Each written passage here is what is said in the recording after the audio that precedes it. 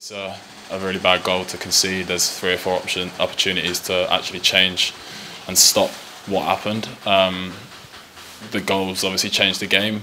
I know it was coming up to half time, and that's a, a crucial time to score.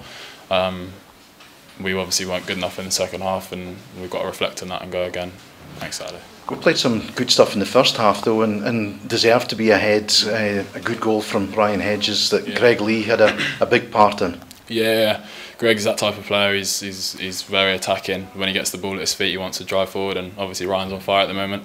He's uh, been away with Wales, had a good training week, and and uh, he's come back firing. Um, it's just a shame that we can't get the three points to top it off.